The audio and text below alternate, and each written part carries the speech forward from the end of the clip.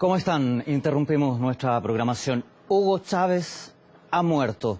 Lo acaba de anunciar el vicepresidente de Venezuela. En estos momentos se está realizando una conferencia que pasamos a escuchar. Una sola familia, la familia de esta patria, que nos deja por herencia, libre e independiente, el comandante en jefe y jefe supremo, eterno de esta fuerza revolucionaria, nuestro comandante Hugo Chávez. Queridos compatriotas, mucho coraje, mucha fuerza, mucha entereza. Tenemos que crecernos por encima de este dolor y de estas dificultades. Tenemos que unirnos más que nunca. La mayor disciplina, la mayor colaboración, la mayor hermandad. Vamos a crecernos. Vamos a ser dignos, herederos e hijos de un hombre gigante, como fue y como siempre será en el recuerdo el comandante Hugo Chávez. Que no haya flaquezas, que no haya violencia, que no haya odio. En nuestro corazón que anide el único sentimiento que tuvo el comandante Chávez, amor, amor por la vida, por la historia, por la patria, por el futuro. Amor, paz, unidad y disciplina. Como nos lo dijo aquel 8 de diciembre en su mensaje a nuestro país. Inolvidable mensaje. Unidad, batalla y victoria. La victoria de hoy es la unión del pueblo y la paz. Pueblo y Fuerza Armada. Así que, habiendo cumplido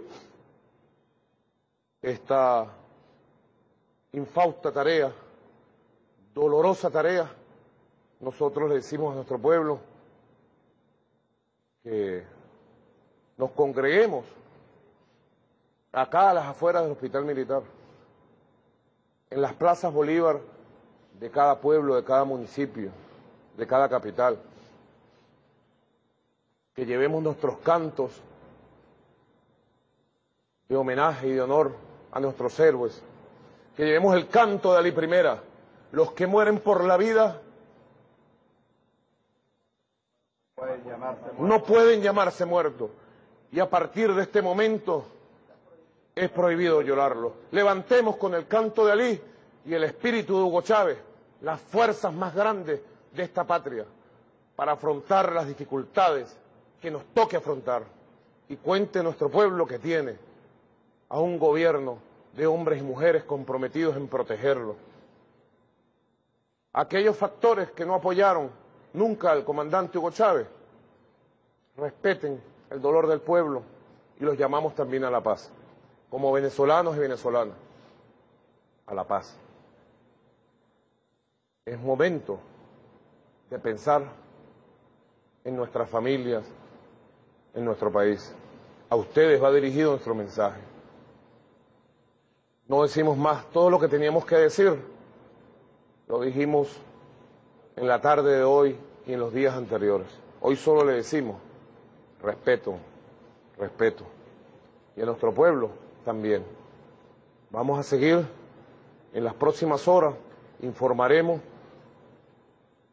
todos los planes para rendir homenaje póstumo a nuestro comandante Hugo Chávez, donde va a ser velado sus restos inmortales y para anunciar las programaciones hasta su definitivo descanso.